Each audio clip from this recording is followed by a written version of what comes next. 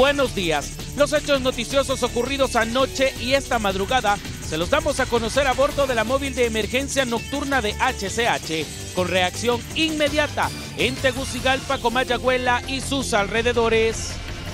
Debatiéndose entre la vida y la muerte fue traído a bordo de una patrulla, un ciudadano el cual fue atacado a machetazos en el porvenir Francisco Morazán. Se trata de un señor de la tercera edad y según versión de sus familiares, un pleito entre bolos desencadenó el ataque mortal para su pariente. Uno de los que participaba en la riña andaba un filoso machete y sin pensarlo comenzó a herir a su oponente hasta tirarlo en el suelo con múltiples heridas de arma blanca en su cuerpo. Pues es que había otro, había un bolo que andaba armado con un machete. Entre los dos, eh, ambos andaban tomados y tuvieron esta riña. Sí, Y ustedes dos vienen solos. sí, solo. ¿Cómo les informaron que él estaba macheteado? Ah, es que, que el pueblo es muy conocido a la gente y entonces lo conocían bastante a él y dijeron a nosotros que él estaba herido. El cuerpo fue traído en la paila de una patrulla de la Policía Nacional y en la posta de Promdeca salida a Olancho, una ambulancia esperaba para hacer el transbordo. El herido fue atendido de inmediato y posteriormente lo trasladaron al hospital escuela. En nuestra labor periodística de darle seguimiento a los casos, esta madrugada se nos informó que lamentablemente el señor había fallecido, producto de la gravedad de las heridas en su cuerpo.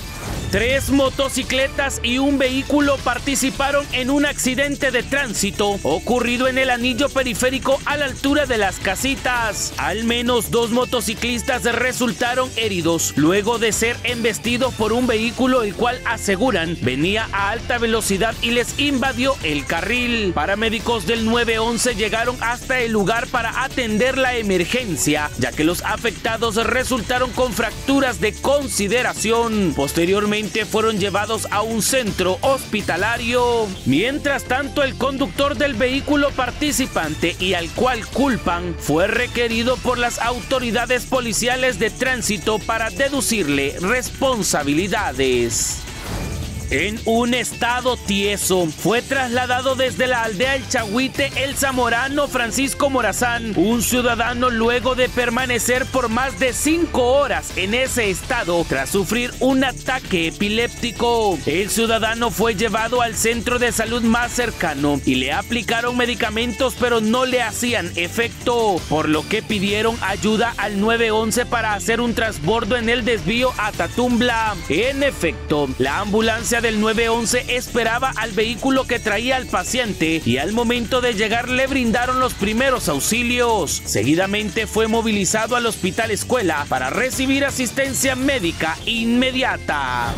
En vigilia, amanecieron en las afueras del Centro de Medicina Legal y Ciencias Forenses los familiares de la joven Ana Lisset Hernández, luego que a raíz de las protestas registradas por habitantes de la aldea de Zambrano y los parientes de la joven para que se entregara el cuerpo y se realizara la autopsia, fueron escuchados por las autoridades. Fue precisamente en HCH donde se oficializó que mediante ordenanza de la Corte Suprema de Justicia, el cuerpo debe ser autopsiado en un periodo de 24 horas. Es por eso que permanecerán apostados con velas encendidas y fotografías de la joven el tiempo restante dado hasta que les entreguen el cadáver.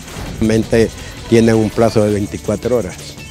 Ya vieron ustedes la ordenanza, ya la pudieron observar, leerla. Pudimos observar, pero nosotros deshicimos la, la protesta que supuestamente nos dijeron que ya estaban aquí, pero parece que vinieron y hicieron la valla ellos y no pudieron.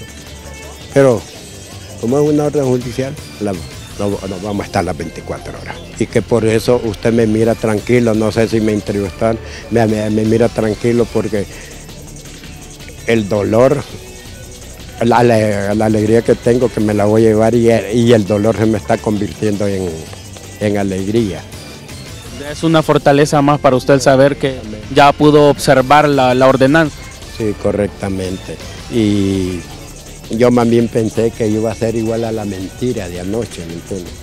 Y pero el pueblo allá quedó revuelto que si es una mentira. Asimismo, se dio a conocer por parte de los dolientes que de no cumplirse con lo establecido, van a retomar acciones más fuertes como familiares y amigos que les apoyan. Con las imágenes de Mauricio Pavón, la edición de Stanley Paz y el apoyo logístico de Francisco Javier Quirós, comandando la móvil de emergencia en la capital, Daniel Méndez les informa.